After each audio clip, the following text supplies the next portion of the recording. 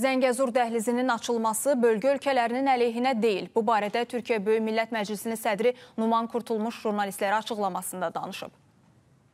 Tabii burada mes ana mesele Zengezur koridorudur.